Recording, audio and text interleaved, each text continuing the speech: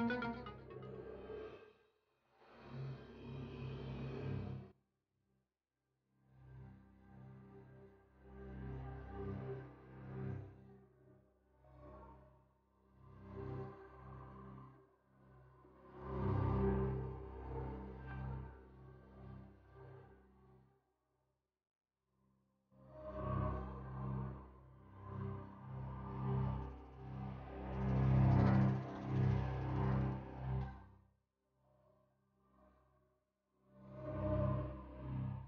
دلوقتي إحنا موجودين في مسجد الماسة. زي ما حضراتكم شايفين عبارة عن تحفة معمارية من الخارج ومن الداخل كمان.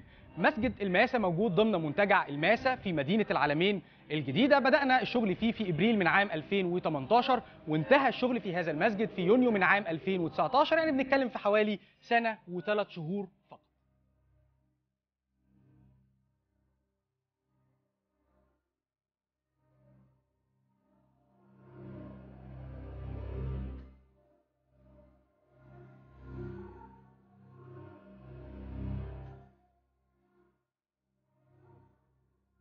الشيخ خالد حسني عبد المحسن الصحصاح إمام وخطيب مسجد الماسة بمدينة العالمين الجديدة كلمنا عن المسجد بشكل عام إيه محتويات المسجد المسجد بشكل عام فيه مصلى داخلي اللي إحنا واقفين فيها حاليا آه، بتسع 500 مصلي في الوقت غير ال- الإجراءات الاحترازية آه يعني في الأوقات العادية في الأوقات آه. العادية بتسع آه، خارجا يعني فيه مصلى خارجي بره لما بن في ساحة؟ في ساحة خارجية آه. بره آه، تسع يعني برضو عدد كبير ل- لأن عظيم. يمين وشمال و- وأمام المسجد والناس جميعا يعني ملتزمة بالإجراءات الاحترازية إحنا شفنا. الكلام ده يعني إحنا تمام. حضرنا الصلاة معاكم وشفنا شفنا التزام الناس فعلا كان في تباعد الناس فعلا كانت سايبة مسافات وكانت في ناس كمان آه، لابسة كمامات ده بيتطبق باستمرار ده بيتطبق باستمرار من ساعة ما تم ال- ال- الإعلان عن عن وز- عن وزارة الأوقاف يعني الضوابط أعلنت آه. الضوابط الاحترازية ديت من ساعة ما أعلنوا عنها وإحنا ملتزمين بهذا الإجراءات يعني تمام والناس حتى الحمامات معانا.